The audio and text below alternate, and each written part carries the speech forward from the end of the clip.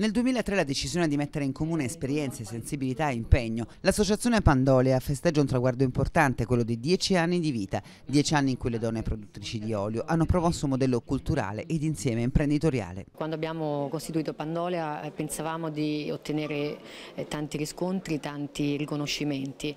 Eh, siamo riuscite, con l'impegno ovviamente di tutte le socie nel territorio, a coinvolgere circa 15.000 bambini e ragazzi di tutte le età, di tutte le scuole, quindi come dire, credo un bilancio positivo che ci spinge a lavorare sempre di più e meglio. La prossima sfida è quella di riuscire ad istituire nelle scuole italiane la settimana dedicata all'educazione alimentare, un'iniziativa che trova consensi e alleati in Parlamento. È da tempo che stiamo lavorando in questa direzione, abbiamo esortato anche i ministeri preposti, l'agricoltura e anche la pubblica istruzione affinché in tutte le scuole ovviamente possa essere previsto questo programma. Nel sud Italia le donne imprenditrici olearie non sono ancora moltissime ma quelle in prima linea hanno decisamente fatto una scelta scelta di qualità. E una Prole Pandolea su tutta una serie di obiettivi stanno collaborando, non solo obiettivi culturali ma sostanzialmente obiettivi economici.